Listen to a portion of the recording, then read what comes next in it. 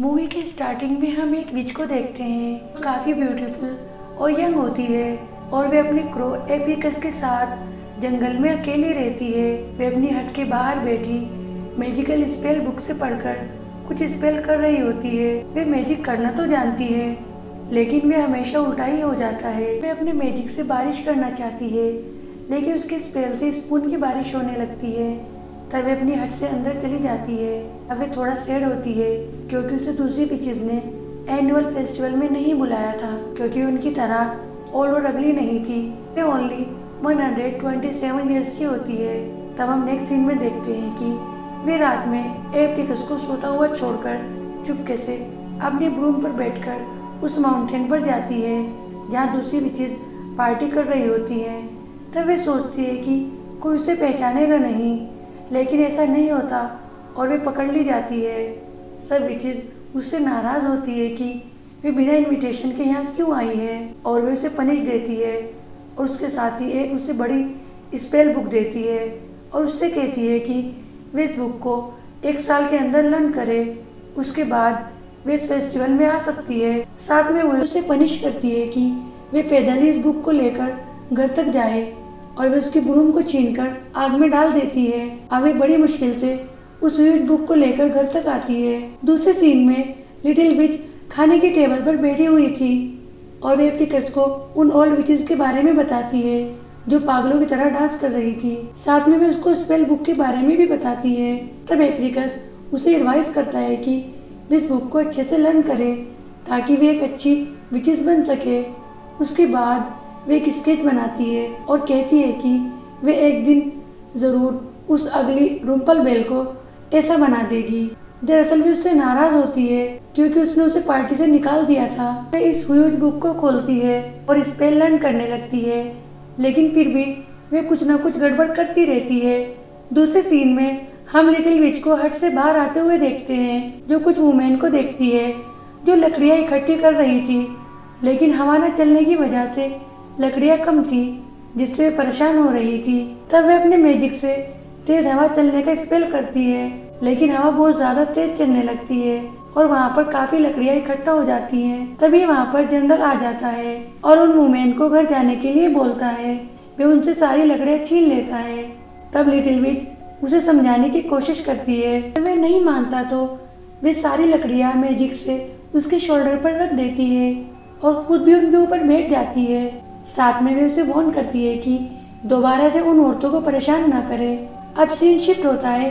विच और एप्रिकस पर जो बातें कर रहे होते हैं, एप्रिकस उसे समझाता है कि लोगों की हेल्प करना तो अच्छा है, लेकिन उसे उस आदमी के साथ ऐसा बिहेव नहीं करना चाहिए था। अब लिटिल विच के पास अपना ब्रूम तो होता नहीं और वो उसे खरीदने के लिए विलेज की मार्केट में जाती है, जहाँ वे एक शॉप से ब्रूम खरीदती है। अब एक लड़की रोनी कैंडीज खरीदना चाहती थी, लेकिन उसके पास सिक्के नहीं होते। पीछे देखती है तो मैजिक से उसके पॉकेट में कैंडी रख देती है और रोनी बहुत हैरान होती है अब बीच आगे बढ़ती है तो देखती है कि एक लड़की पेपर से बने फ्लावर सेल करना चाहती थी, लेकिन उन्हें कोई नहीं खरीदता। तब वे अपने मैजिक से उन फ्लावर्स को रियल फ्लावर में बदल देती है, जिनकी शानदार स्मेल को सूंघकर सब फ्लावर्स खरीद लेते हैं। अब रोनी और उसके भाई को बीच पर शक होता है और वे उसका पीछा करते हैं। जहाँ वे उसे ब्रूम पर उड़ते हुए देखते हैं। एक दिन रोनी और थॉमस जंगल में जाते हुए रास्ता भटक जाते हैं और वे उस बीच की हट में पहुँच जाते हैं, जहाँ बीच उन्हें पीने के लिए शरबत और खाने के लिए केक देती है। रोनी उससे पूछती है, क्या वे एक बीच है? तभी उससे कहती है हाँ वे एक बीच है। अब वे उनकी फरमाइश पर अलग अलग तरह के मैजिक करके दिखाती है जिससे वे थॉमस की चेयर को ऊपर उड़ा देती है, साथ ही वे टेबल को उल्टा कर देती है। तब रोनी उससे, बात तब में दूध और शहद मिलाने के लिए बोलती है तो वे ऐसा ही करती है। और वे अपने घर की हर चीज़ के म्यूज़िक भी बजवाती है। तभी उसके घर के बाहर कोई आता है। जब वे बाहर आकर देखती है तो वहाँ पर रुम्पल बेल होती है, जो उसकी निगरानी कर रही होती है। और वे हट के अंदर जाती है और वहाँ पर बास्केट रखी हुई देखती है तो वे लिटिल विच से पूछती है, क्या तुम्हारे घर के अंदर कोई वुमेन है? तभी थॉमस को छींक आने लगती है।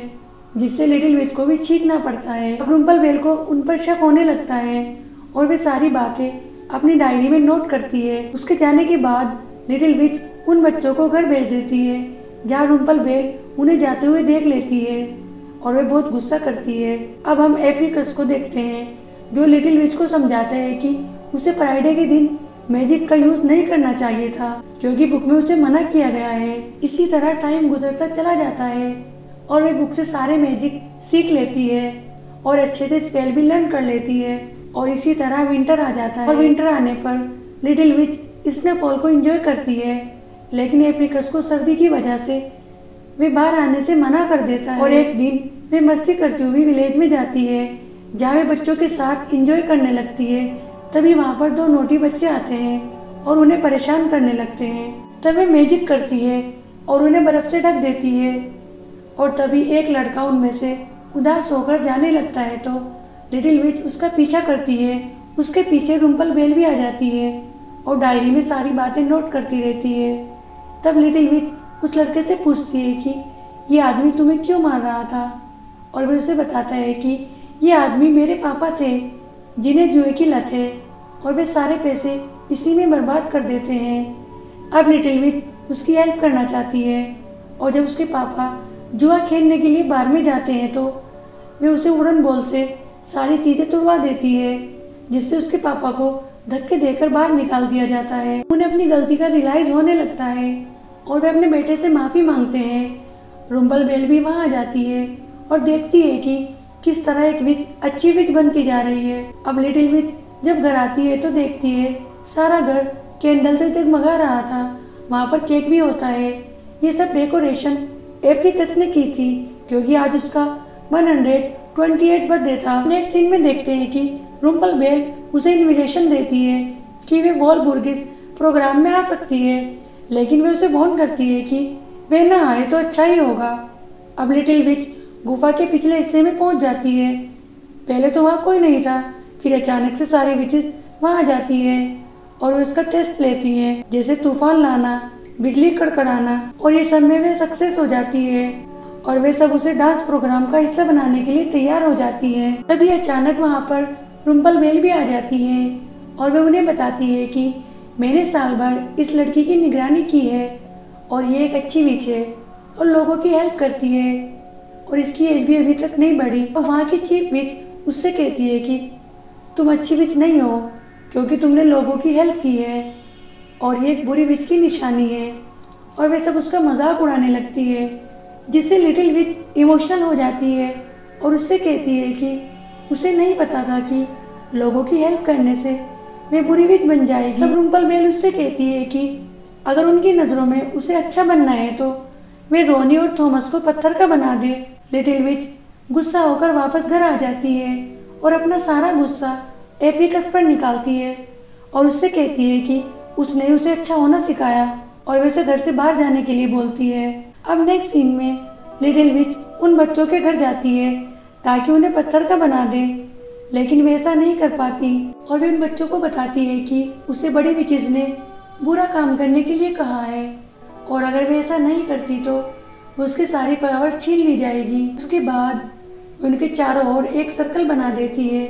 ताकि कोई भी उन्हें नुकसान ना पहुँचा सके। और जब वे घर से बाहर आती है तो रुम्पल बेल उसे चिढ़ाने लगती है कि वे ज़्यादा देर तक अब चुड़ैल नहीं रहेगी। लिटिल विच वापस अपने घर आ जाती है और वे इस बुक को डिस्ट्रॉय करने को सोचती है, क्योंकि किसी भी बुक को अगर डिस्ट्रॉय कर दिया जाए तो बिना बुक के कोई भी विच स्पेल नहीं कर सकती। और वे सारे स्पेल याद कर लेती है। लेकिन वे जाने की जल्दी में मेज बॉक्स वही छोड़ जाती है, जिसे एपिकस उसे देने के लिए रवाना हो जाता है। अब वही रात होती है, जब सब विचेस डांस कर रही होती हैं और लिटिल विच वहाँ आती है और मैजिक करने लगती है। वे सारी ब्रूम्स को एक साथ बोन फायर में डाल देती है।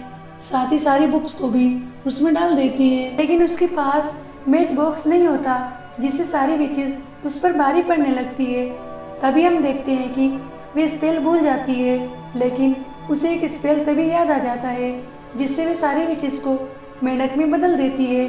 सिवाय रुम्पल बेल के जो एक चट्टान के पीछे छिपी हुई थी, तभी वहाँ पर एप्रिकस मेज बॉक्स लेकर आ जाता है और उसके बाद हम रुम्पल बेल को एक मेजिक बुक्स चुपके से उठाते हुए देखते हैं, जो लिटिल विच के देखने पर नीचे फेंक देती है। वे उससे दोस्ती करने के लिए कहती है, लेकिन लिटिल विच उससे पहले से ही नाराज़ होती है और वे उसे पिक की शक्ल में बदल देती है। उसी सीन में रोनी और थॉमस के रूम का सर्कल भी खुद ब खुद मिट जाता है। मूवी के लास्ट में वे एप्रिकस के साथ डांस करती हुई दिखाई देती है और उसे भी मैजिक करना सिखाती है। इसी तरह मूवी का एंड हो जाता है। आपको मेरी एक्सप्लेनेशन कैसी लगी? प्लीज़ मुझे कमेंट करके ज़रूर बताएँ और मेरे चैनल को सब्सक्राइब ज़रूर करें।